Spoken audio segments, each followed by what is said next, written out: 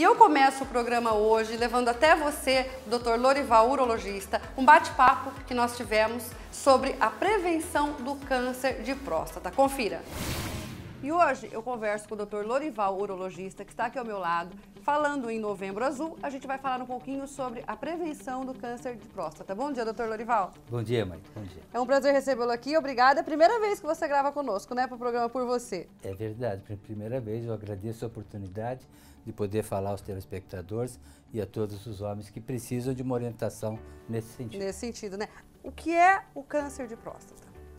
O câncer de próstata é uma doença maligna que atinge um órgão que tem apenas uma função, que é na fertilidade. E a gente sabe que, historicamente, após os 40 anos de idade, em 80% dos homens, a próstata aumenta de volume. Não é câncer, é um crescimento benigno. Chama-se hiperplasia benigna de próstata, que tem uma só importância.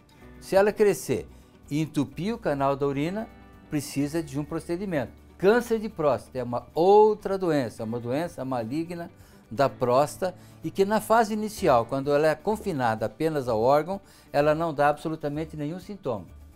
O Como que é ruim, né? O que é ruim, porque não dá nenhum sintoma, a pessoa não sabe que tem. Quando vai ver? E essa é a oportunidade que a gente tem de tratar da próstata, do câncer de próstata, com um alto índice de cura. Por isso a prevenção. Por isso a prevenção. Os índices de cura num tumor de próstata órgão confinado gira em torno de 80% a 90%. Que bom. Já, se o tumor avança para fora da próstata, a chance de cura é aproximadamente zero. Bom, e qual a idade ideal né, para os homens começarem a prevenção?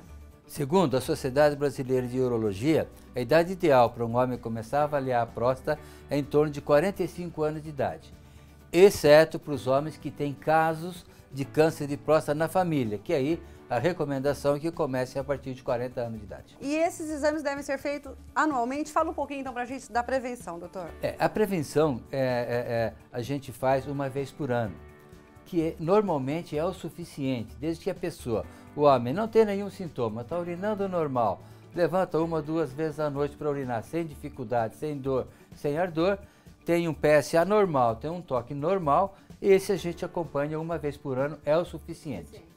Já se a pessoa tem algum sintoma. Isso que eu ia perguntar agora. Ainda que, que, que o senhor disse que não dá sintoma, não dá o sintoma, mas chega uma hora que vai Aparece dar. Aparece alguma coisa. É muito comum, por exemplo, a pessoa ir lá no consultório fazer uma avaliação prostática, você pede um PSA e o PSA vem um pouquinho acima do esperado.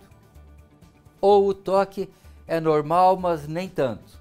Esses casos a gente fica mais de olho e aí a gente recomenda que faça uma avaliação a cada seis meses.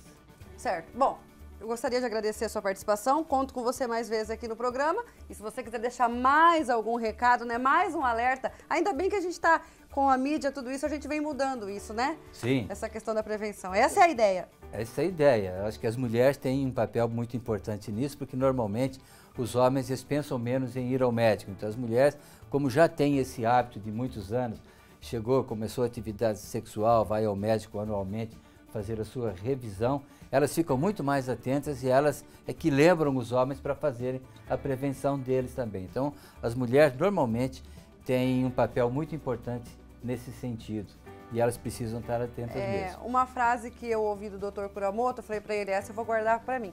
Ele falou que a gente não escolhe como e quando vai morrer, mas a gente escolhe como vai viver. Se você se prevenir, já te dá aí né, uma porcentagem grande de cura nessa questão que a gente está falando agora, por que não fazer essa escolha, não é? Exato. Isso não vale apenas para o câncer de próstata, acho que vale para tudo. Para tudo. Hoje a gente tem falado muito e precisa pensar sempre em vida saudável, né? Vida saudável. Se a pessoa tem uma vida saudável, não é sedentária, tem uma alimentação saudável, a, a, a, a chance de viver mais e em qualidade de vida melhor é muito maior. É muito maior. Bom, mais uma vez, muito obrigada pela sua participação. Eu que agradeço a oportunidade. Estou à disposição quando você quiser. Nós vamos para um breve intervalo, mas não sai daí não, porque é rapidinho.